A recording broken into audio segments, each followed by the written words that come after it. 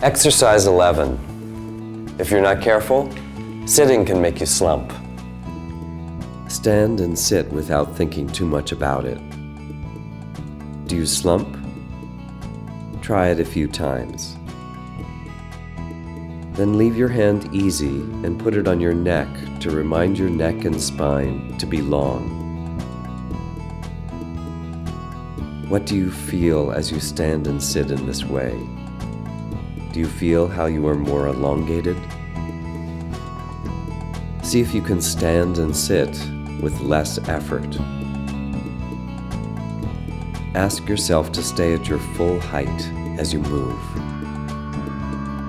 Now you can sit differently.